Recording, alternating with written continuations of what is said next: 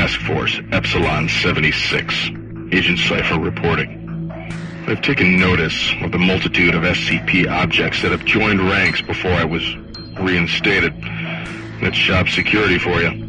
I don't recall the facility being this expansive. I may need to borrow the assistance of Agent Angel from Mobile Task Force Kappa 42.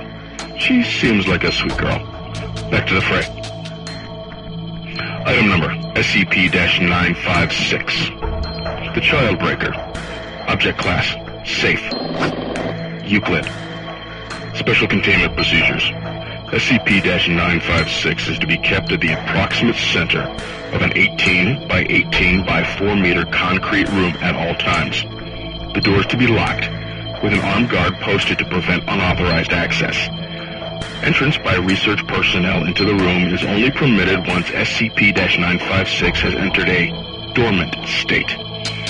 Permission to bring a subject into the room must be cleared by O5 approval to decrease the occurrence of SCP-956-1, as well as...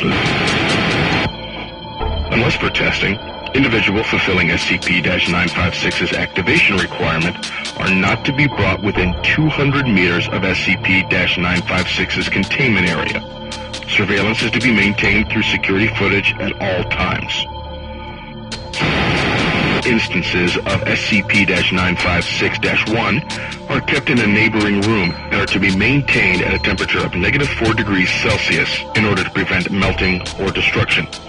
Any use of SCP-956-1 is to be authorized by at least one member of O5 and to be carried out in a room identical to SCP-956's containment chamber. Any excess SCP-956-1 created by tests with SCP-956 is to be incinerated unless authorized by personnel with security clearance 4 or higher, as are any extraneous instances of SCP-956. Description: SCP-956 appears to be a common pinata resembling an unknown quadruped. Tests have revealed that, although superficially similar to paper mache, SCP-956 is constructed of various amounts of glue, sugar, and unidentified fur and human tissue.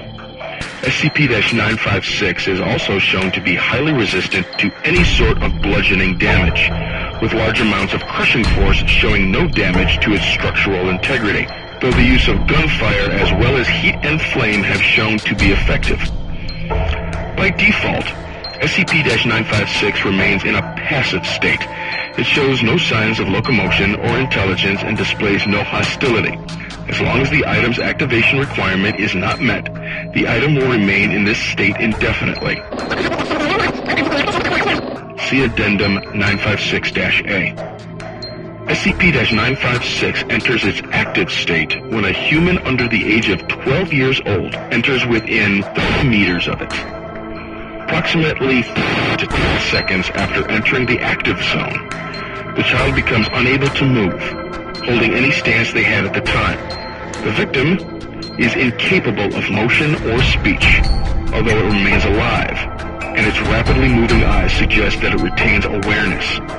SCP-956 moves towards the victim and bludgeons him or her until the torso ruptures.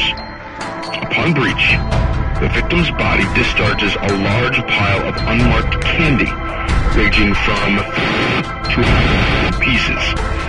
Instances of this candy are designated as SCP-956-1. SCP-956 repeats this for any other immobilized victims before returning to a docile state. A victim can be removed from SCP-956's activation range if retrieved promptly. Upon moving the victim 5 meters away from it, SCP-956 returns to its passive state. The victim, however, shows no sign of recovering from its immobilized state and appears to remain in such a state indefinitely. Autopsies of unbroken victims show that their body had severely dehydrated, leaving them brittle. Autopsies also revealed that pieces of SCP-956-1 had begun to grow out of the victim's organs, using the tissue as a component. The amount of SCP-956-1 appears to be directly correlated to time spent in SCP-956's activation radius. SCP-956-1's effects vary depending on the age of the human consuming them. Humans at the age of 12 years or older go into a seizure within minutes of consumption, with a percent possibility of cardiac arrest. There is a percent chance of survival for such subjects. Animals suffer similar effects regardless of age. Children under the age of 12 undergo a different effect.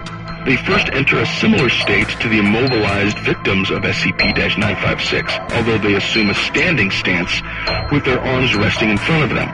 Their body then... The process takes minutes to complete. Upon completion, the victim has transformed into another instance of SCP-956. These copies behave identically to SCP-956. There is a zero chance of survival for the victim.